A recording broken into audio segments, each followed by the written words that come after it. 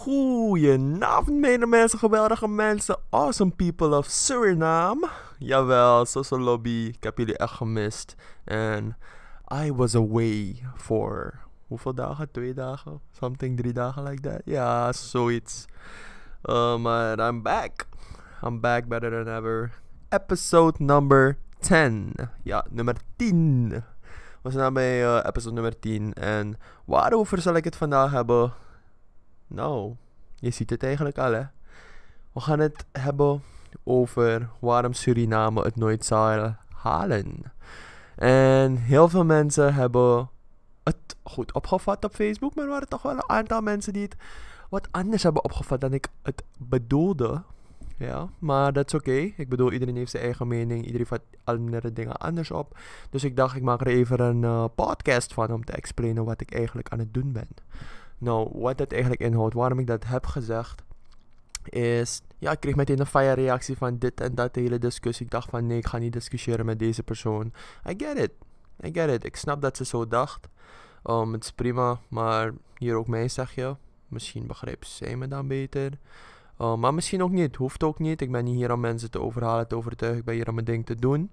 En ja, ik ga meteen aan de slag. Waarom ik zeg het zuur nooit zal halen, is omdat we gewoon niet houden van samenwerken. En we houden niet van andere mensen gunnen. Oké? En I get it. Sommige mensen gaan zeggen van wow, offended as heck. Maar ik zeg dingen op deze manier alleen om, zodat je er bewust van wordt waarom het niet werkt. Snap je? Waarom dingen niet werken in het land. Um, en dan heb ik niet gezegd van, hé, hey, Suriname is dommer. Of Suriname gaat het nooit halen. Nee, dat bedoel ik niet. Ik bedoel juist bewijs me dan dat je het wel kan. Snap je? Zo heb ik het meer getriggerd naar jullie toe. Maar blijkbaar hebben jullie het verkeerd opgevat. Het is helemaal prima. Maar daarvoor zijn we er om te leren van elkaar. Dus um, ik zal het helemaal explainen. Um, heel veel mensen in Suriname houden niet van om samen te werken, heb ik gemerkt. Ik weet niet als het ligt aan zijn mentaliteit.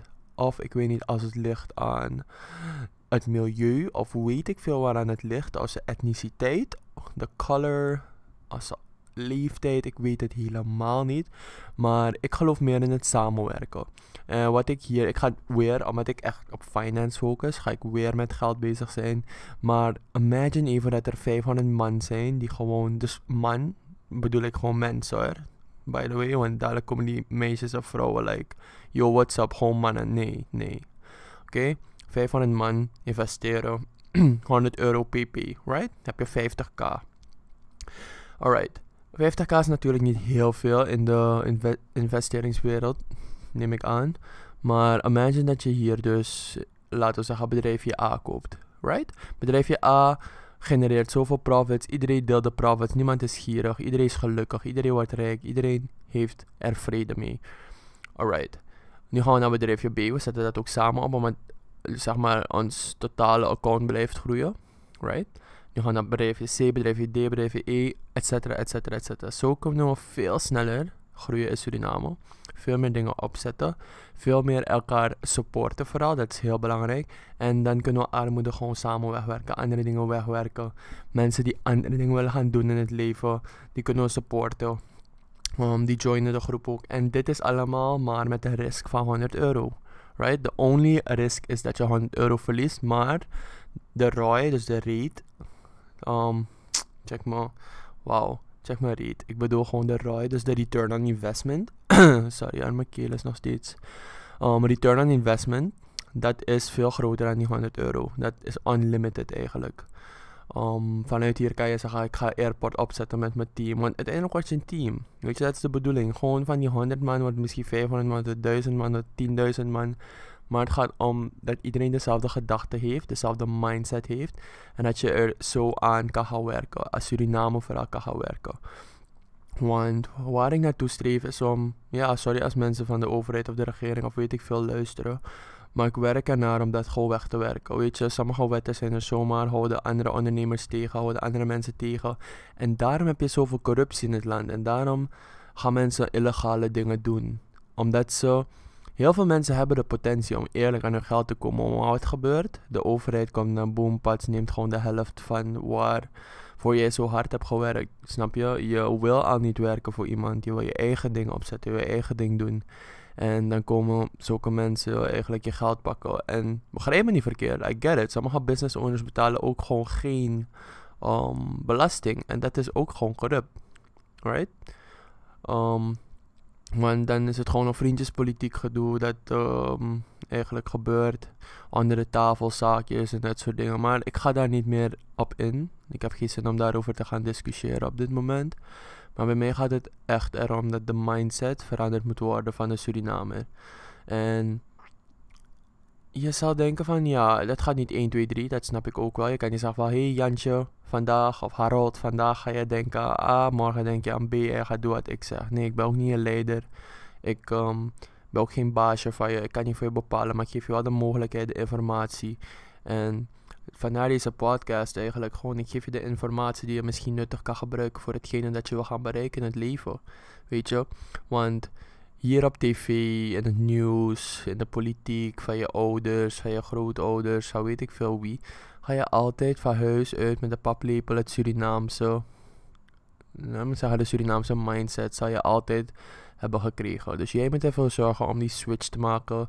En vandaar dat ik eigenlijk hier ben in Suriname, voor de mensen die dat niet wisten en die zomaar comments plaatsen. Um, vandaar dat ik hier ben om jongeren te inspireren, vooral Surinamers.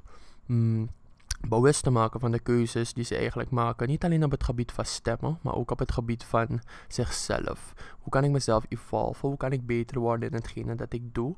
Hoe kan ik iets zoeken dat ik leuk vind en waarop ik met een drive gaan werken. Snap je? Waar ik gewoon elke dag voor opstaan. Drie uur s morgens wil ik opstaan om dat te gaan doen. Dat is mijn passie. Dat vind ik leuk. Ik verdien ermee. Ik kan er lekker van leven. En wat het uiteindelijk doel dan is, is dat gewoon verschillende mensen hun ding doen in het land. Weet je? Um, Harold is goed ik kleren maken, maar hij is de beste. Iedereen gaat bij hem bijvoorbeeld. Je krijgt natuurlijk wat concurrenten, maar dat hoort erbij. Dat hoort erbij, dat is normaal. Hij gaat, Harold gaat niet iedereen kunnen helpen. Het is gewoon een voorbeeld, alright? En Pietje is heel goed in auto's importeren. Hij importeert alle auto's. Um, Veronica doet, uh, noem maar wat er. Ze heeft de haarsalon en ze knipt heel veel mensen. En zo supporten we elkaar en gaan we naar mensen toe. En hebben we eigenlijk andere mensen niet meer nodig om dat voor ons te doen. Snap je? I get it. Sommige artsen en bepaalde beroepen, dan moet je een diploma hebben. I get it. Het is helemaal prima. Het is helemaal fantastisch. Maar ik wil juist niet dat mensen daar weggaan naar een ander land om te zijn van, oh, dat ik het in Nederland zoeken of in Amerika zoeken of ergens anders. Alleen omdat ik de mogelijkheid hier niet heb. Of omdat de overheid of de regering me tegenhoudt. Weet je, ik ben daar gewoon moe van. Ik ben het zat dat mensen dat blijven zeggen. Want het is gewoon een excuusje. Alright? Niemand kan voor jou bepalen wat je moet doen, hoe je het moet doen, waarom je het moet doen. Ja, er zijn wetten, er zijn regels. Maar op dit moment heb ik meer zo'n mindset van als iemand me moet oppakken, dan pakken ze me maar op. Um, en ik wil gewoon dat elke Surinamer zo gaat denken. Want geloof me, ze zijn allemaal mensen. Oké, en jullie moeten niet vergeten, misschien praat ik nu tot 20 mensen waarvan twee maar zeggen: Ah, Nigel, je hebt gelijk. Of niemand vindt dat ik gelijk heb. Dat is ook prima. Maar Denk jullie even aan hoe je leven er anders uit zou zien als je wekelijks oh, 100 euro kan verdienen. Gewoon omdat het kan. En het kan. Ik ga je eerlijk zeggen, het kan. Imagine wat je daarmee in Suriname kan doen. Ik ben geen scammer. Ik praat gewoon openlijk. Daarom heb ik de podcast. Um, en ik ga het ook niet te lang houden. Ik wilde even jullie wat wakker schudden. Voor de realiteit waarin we zitten. Right?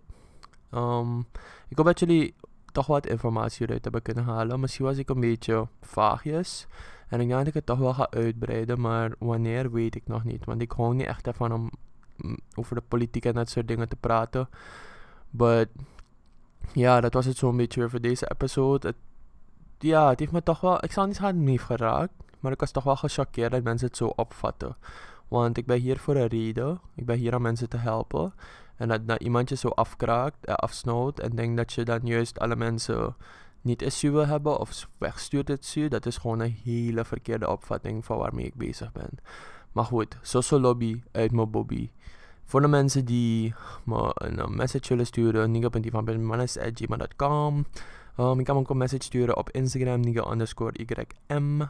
En ja, dat is het zo'n beetje. Like it, share it, subscribe, love it, gooi het in een ton. Doe wat je ermee wilt doen.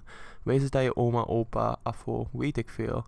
Soso lobby uit mijn bobby. En ik spreek jullie in de next episode. Bye bye.